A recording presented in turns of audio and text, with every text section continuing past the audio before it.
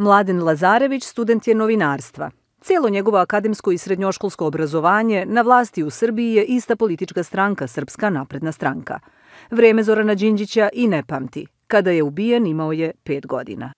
Ja njega gledam kao istorijsku ličnost. Generalno mi se čini da su političari 90-ih bile su mnogo uh, obrazovani, bili su intelektualci i tu vidim najveću razliku. Ono što danas vidim kod političara jeste kao neke lutke koje govore ono što razmišljaju dok je kamera na njima, a da možda nešto drugo zaista misle.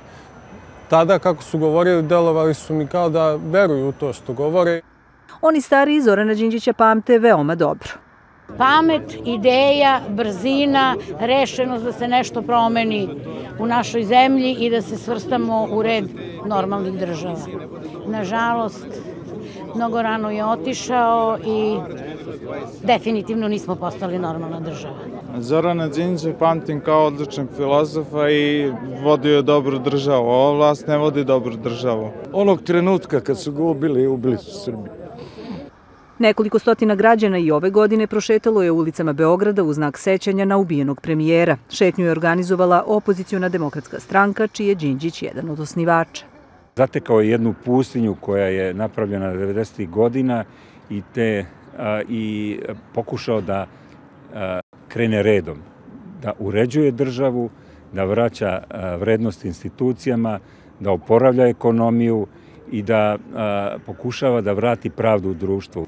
Počast Zoranu Đinđiću odali su i članovi aktuelne vlade Srbije. Kao i svake godine venac su položili na mestu na kome je ubijen. Na isto mestu u različito vreme počast su odali i članovi Đinđićevog kabineta. Mislim da svako ko može da vidi šta se danas dešava u Srbiji, a da može realno da zamisli šta bi bilo da je Zoran ostao živi, da se nije to desilo, znao bi koliki je to gubitak. Đinđić je bio jedan od glavnih nosilaca petooktobarskih promena 2000. godine. Za predsednika vlade izabran je u januaru 2001. kao prvi demokratski izabrani premijer Srbije posle pada Slobodana Miloševića.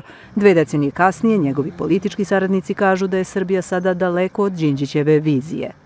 Mi nemamo uređenu demokratsku državu, mi imamo stabilokratiju, drugim rečima jednog autokratu koji sve kontroliše, a to se toleriše s druge strane od naših partnera iz Evropske unije.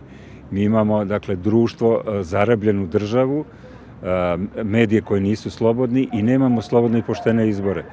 Zoran Đinđić ubijen je 12. marta 2003. kada je na njega pucano ispred ulaza u vladu Srbije.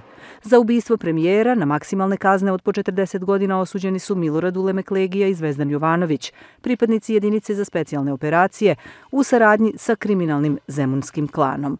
Politička pozadina ubistva nikada nije utvrđena. Jelena Milutinović, Al Jazeera, Beograd.